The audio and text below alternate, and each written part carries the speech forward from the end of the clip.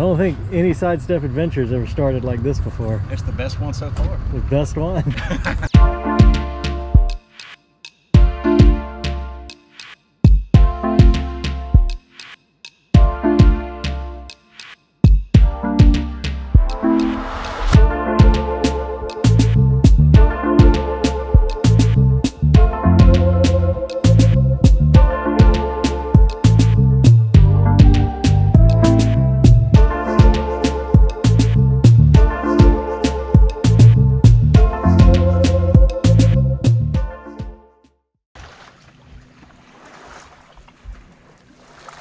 What's up everybody? It's Robert and you're watching Sidestep Adventures. I got Daniel with me back on the channel after too long. I got Cody with me and today we're taking a completely different kind of sidestep adventure, a, a water. Aqua venture. An aqua adventure. So we're going to an island that has the ruins of an old house on it that somebody told me supposedly haunted too. Daniel knows a little bit more about it than I do, so he'll tell you when we go up there. And uh, also, he provided the boat, so Yeah. Heck as yeah. You provide the gas money. If not, you're staying here on the island. I hope I brought some cash. Let's go. The no shoulders, you over here somewhere? Yeah, I was looking at this as we were passing it by. It's like this is Water Moccasin Island, not Chimney Island. Yeah. It's definitely snake territory. It's also May. Was it? What did you say? Mayflies? Mayflies. Mayflies. Yeah, Mayfly Island. Mayfly, they may not. I know Mayfly. This make me want to go fly fishing.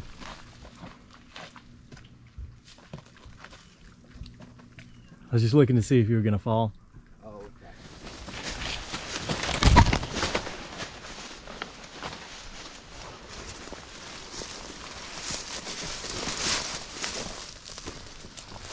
Oh, there it is.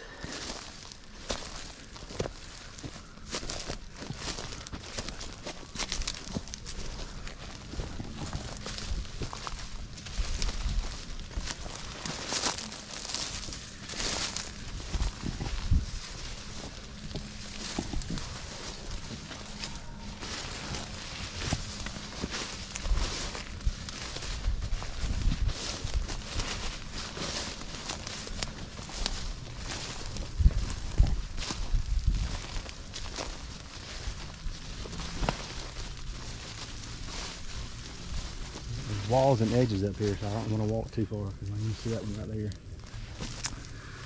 Oh yeah. Ruins of the foundation.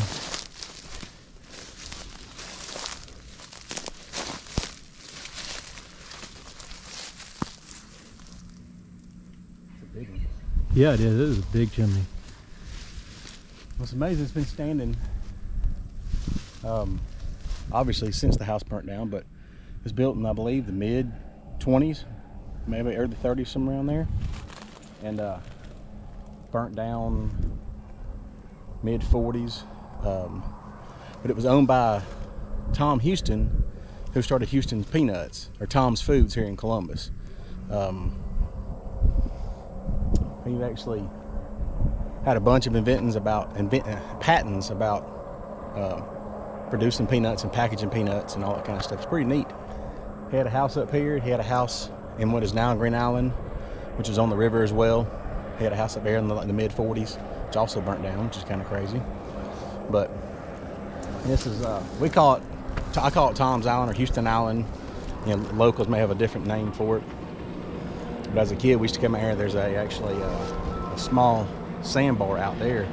We tie up three, four foot deep and play out there in the summertime. And you know, kudzu wasn't that bad as, as it is now. It used to be 20 years ago. You could see everything up here. So this is cool, man. So he made his money making peanuts, and uh, then built a little island island resort in the middle of the Chattahoochee River. And you said earlier that this was the river back then. When Yeah, and, and this dam, this lake wasn't dammed up until I believe mid 70s. Um, so back then, all you see out here was just the river channel, and there was, you know, obviously land everywhere. And straight off that way, which is this the Alabama side, was a creek called Hiawatha Creek, which is a big creek body that flowed into the river. And that was the name of this this house was Hiawatha Gotcha. because he named it after the, the creek over there that he could see from his yard, from his front porch. That's cool. So So was it an island originally before they did They it? say it was an island originally. There's not a lot of distance between here and the mainland. So I'm assuming back then there was probably like a little walking path to get Yeah. to it. But now it is totally surrounded by water, so it's technically an island now. Cool. Let's take a closer look at this chimney. First of all, that's got to be the biggest old standing chimney I've ever seen. Yeah, it's very impressive. Yeah, it is. You gotta watch out through all this kudzu for Joe No Shoulders or what is it? Copper-headed rattle moccasins? Cotton-headed rattle moccasin. Cotton-headed rattle moccasin. Cotton-headed rattle moccasin. All right, I'll get it right one of these days. Now look at this. Oh, there's some. This buzzard island now. There's part of the wall I just stepped on right there, and an old pipe, gas pipe or something right there too. I'm assuming this was the back side of the house, and that Yeah. was the front side, since the chimney's over here and everything's there. It seems to be dug out to be a, a you know, like a inset or what they call it, a like a half story or however I don't know how they phrase it, but Right.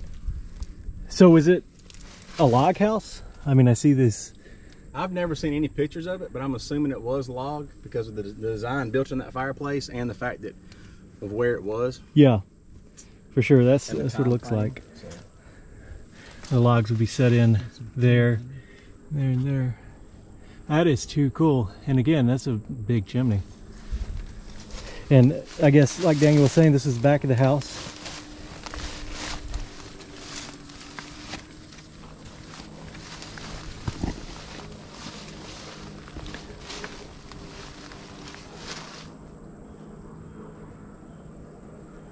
Now, that's weird. I would have I would have expected the uh, the front of the fireplace to be over there on that side, not on this side. So I guess it came out further than I was yeah, I- I, was thinking that, that m- the main majority of the house will be over there Yeah. on the bigger side of the island. right? I've never actually been up here looked at it, so let's learn something new. But Yeah. you can see where all the footings were, like all the main foundation of the house is all right there. Yeah, that's crazy. Because it's got, I mean, you can see where that's been cut out. Well, it had electricity too. I saw that. Obviously it did, but that's pretty neat to think it was out here by itself. Yeah, In the 40s, had electricity running out here. it's too cool. Let's take a closer look down at some of the other ruins, but first we got to look at the chimney here. That is neat. Inset into the fireplace.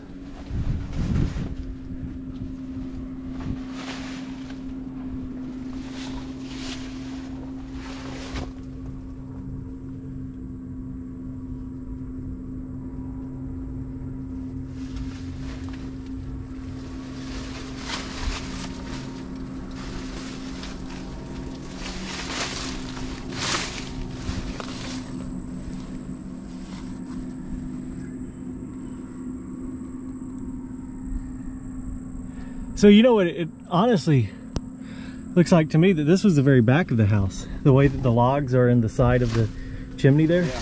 which is weird for where it is and how the land is shaped down here. Yeah, this Maybe to come back in the wintertime. right. Does kudzu ever die? No, it's back. A little bit. That's interesting the way it's cut right here. So, well, it's it's really hard to say how this was, but I would have expected a bigger room right here. So maybe it was just over this, and they had it on uh, pylons or piers. And as Daniel just said when I had the camera off, that this island is changing shape. It's still changing shape today, like when we were coming up here. Um, you can see where the sides of the island are eroding away. Yeah, there's no seawall or retention wall on this island, so they're telling what it looked like, you know, back in the day before the river came up. But you can see these trees are original out here, so Right. it could have had more of a gradual slope down to the water, For down sure. the river. Um, but this lake, especially, there's a lot of islands and land up here that doesn't have seawall protection, erosion protection, and these wake boats are destroying some land up here. It's it's awful. So this is definitely a rock wall right here under my feet. It's just all hidden by the kudzu. So again, hard for me to imagine the shape of the house, but you've got a, a rock wall right there and there under my feet this perfectly square cutout. And who knows what else you know other foundation pieces and stuff are hidden under this kudzu the vine that ate the south.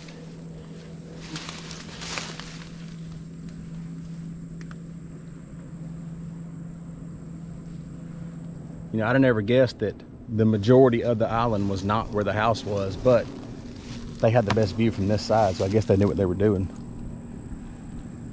And probably east to west sun exposure so they didn't get beat up by the sun, too.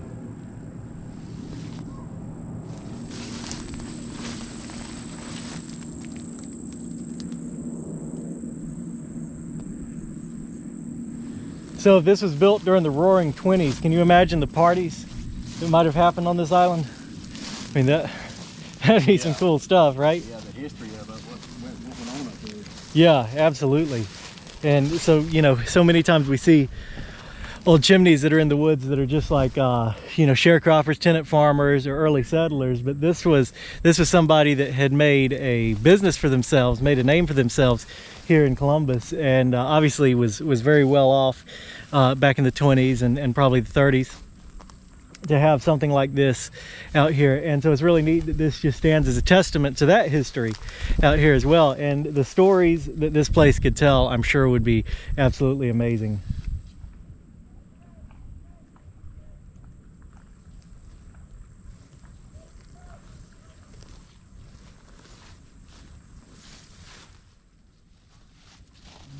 Do you remember where you parked the boat that's right, we came in the boat, didn't we? yeah Oh, I hope that ain't floated away. oh you tied it off right No, I thought Cody did. oh boy